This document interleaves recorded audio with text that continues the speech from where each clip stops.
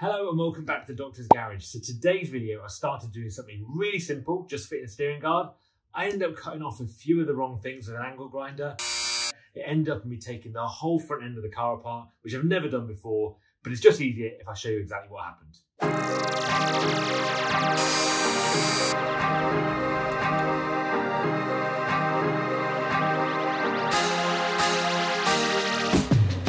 Today you join me back with my Defender 90 and today I'm going to be showing you how to put a new steering guard on your Defender.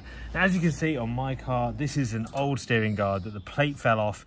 It's still got the cage and the frame around it that needs to come off. It's quite rusted on with some of these bolts, so we're going to need to angle grind some of them off. And then we're going to be fitting a brand new steering guard from ORE, and that will help improve the cosmetic appearance the front of this car, so it won't be as rusted and look quite as bad, but it'll also help protect the steering components because these cars are really vulnerable to any damage that can happen when you go off-road. So this is a steering guard we're going to be fitting today. It's from a British company called ORE. They make really, really good components for Defenders. They do steering guards. They also do a rear wheel carrier, which I need to look at because I'm worried my rear door is going to crack off at some point with this tire I've got on it. So I'm going to look at that next. But this is the steering guard.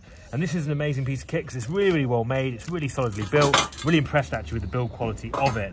Um, it's also made out of a tank grade coating that they have on the front of it. And that protects it from any scratches and scuffs. Just makes it really durable means it also looks really good it's in this kind of satin black finish so i'm really excited to see what this looks like on my car help tidy up the front of this and also give it that protection that it needs so if we look under the car, what you can see is this is the old steering guard right here. And this is the part that needs to come off so we can install the new one through these bolt points just here. Same on this side too, just need to cut those bolts out and then we can take this off because at the moment, as you can see, it's pretty rusted, it's pretty bent and we're gonna put a nice new one on today.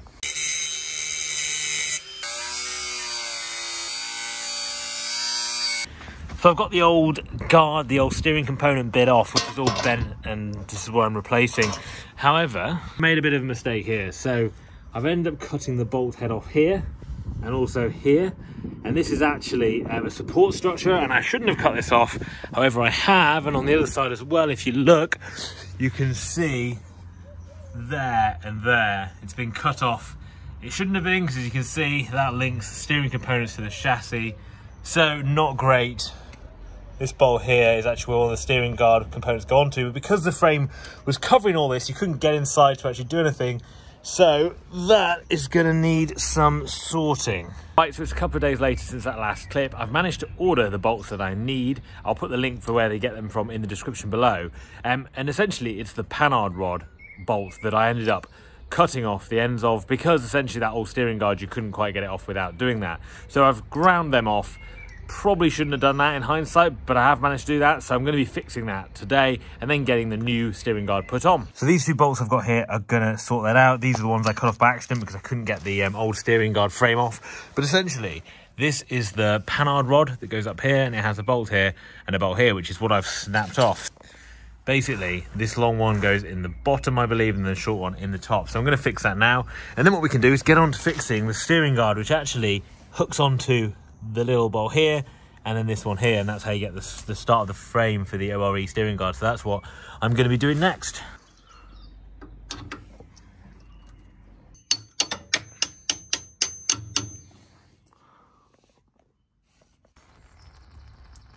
Oh dear So just when I've been knocking that second bolt through the top of the panhard rod, we start, start getting some dripping of um, coolant fluid, which has come down from there somewhere. So I've obviously dislodged a hose or something like that. So that's the next challenge to try and get to the top of there and find out what the problem is. So when I was looking, things were worse than I thought. We've got the radiator here. I've taken the fan out, and actually I bought a couple of really good tools to do that because you have to stop the uh, the pulley belts with that and then twist the locking nut off with the other spanner, and that was really useful. And both those parts were from I can't remember. I'll put them in the link below. But essentially, that was where the fan was. Now I can see right down, and if I look down there, you can see where that bolt has hit the radiator I think that's what's causing the problem. So what I need to do is take this radiator out.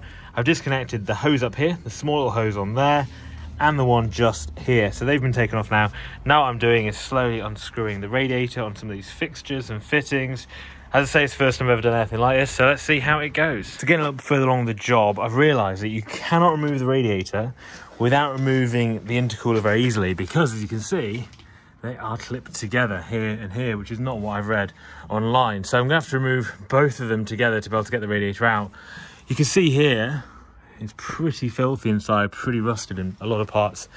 Um, but uh, yeah, we are getting there. I had to take the intercooler hoses off as well, um, the airflow hoses for the intercooler to be able to get to it. So it's turning out to be a much bigger job than I thought. So I've just removed the intercooler and the radiator.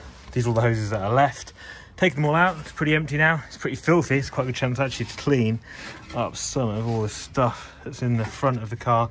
And here they are, so this is the radiator here, all the cooler in the bucket, and this is the intercooler, the old intercooler. And interestingly, I haven't owned this car from new, and as you can see on here, 31st of the 10th, 06, that's when this intercooler was made, so it's 14 years old. So after taking that out, what I was originally looking for was that bolt that I banged through, and as you can see, came straight through and cracked into the radiator, which started all this mess. Um, you can see where it's gone through just there. So this is where it's cracked. It just pushed the radiator open a little bit, and that's where it was leaking from. And that was the start of all this problem. The culprit bolt that did it all is just here. Finally, we can get it out, and that's what broke my radiator. Coming through there, you can see the other one on that side. So after taking apart the radiator, the intercooler, I've decided to not put back the original Defender equipment and actually put some more upgraded equipment in. So I'm going to be visiting a specialist shop in the next video and fitting some really nice new parts and see how that affects the performance of my Defender. If you're new to the channel, please remember to click subscribe down here, give me a like and leave me a comment in the box below.